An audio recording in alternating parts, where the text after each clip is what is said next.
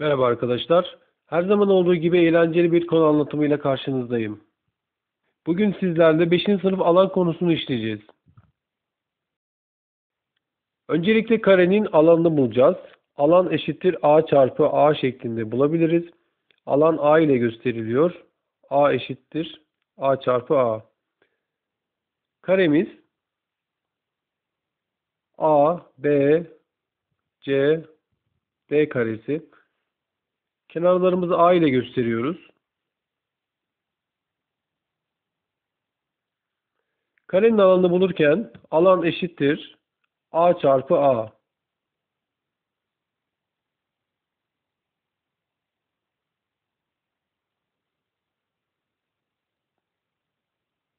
Bunu işlemle gösterelim.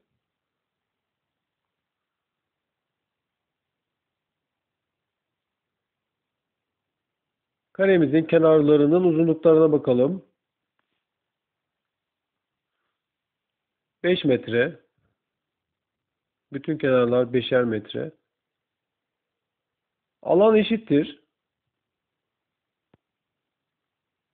5 çarpı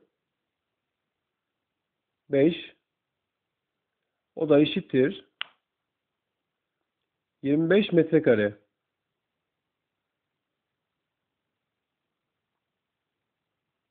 Bir sonraki hesaplamamız dikdörtgen. Alan eşittir A çarpı B şeklinde formüle edebiliriz.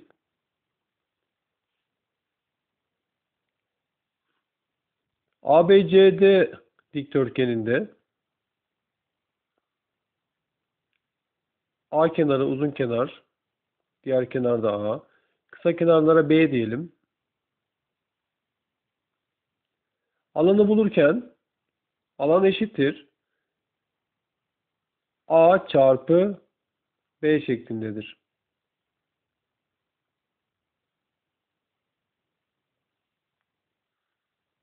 Bunu işlemle gösterelim.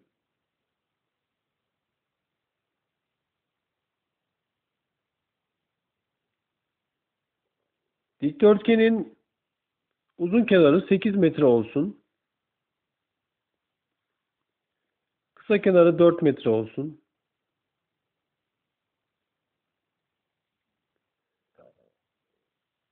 Alan eşittir 8 çarpı 4 eşittir 32 metrekare.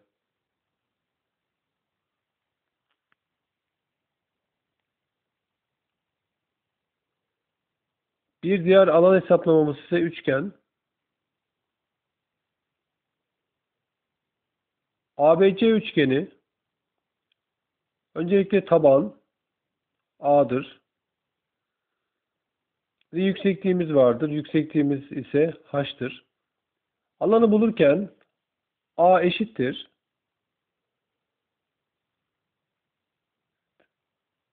Taban yani A çarpı yükseklik H bölü 2.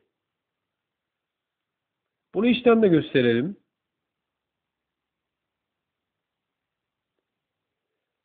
ABC üçgeni. Tabanımız 7 yüksekliğimiz 6 alan eşittir. 7 çarpı 6 bölü 2 alan eşittir 7 kere 6 42 42 bölü 2 alan eşittir 21 şeklinde buluruz. Paralel kenarın alanını bulurken ise ABCD paralel kenarında A ve H çiziyoruz görmüş olduğunuz gibi. H alan eşittir. A çarpı H şeklinde gösteririz.